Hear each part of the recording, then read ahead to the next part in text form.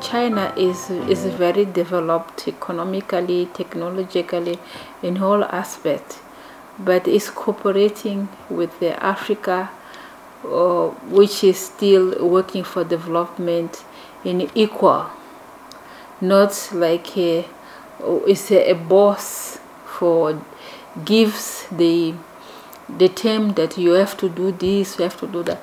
No, China respects our countries, respect Africa, and uh, it gives us the ownership.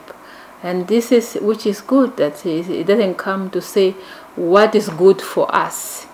We know what is good for us.